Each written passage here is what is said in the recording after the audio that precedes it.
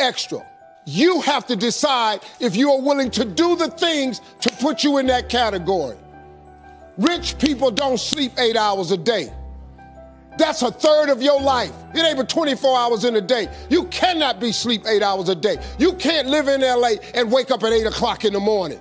It's 11 o'clock on the East Coast. The stock market been open two hours. They already making decisions about your life, and your ass was sleep.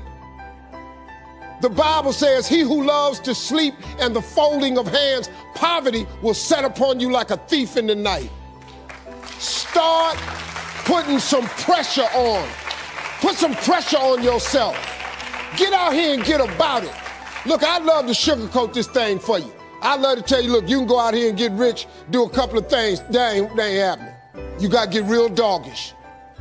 You got to get downright funky if you want to make it.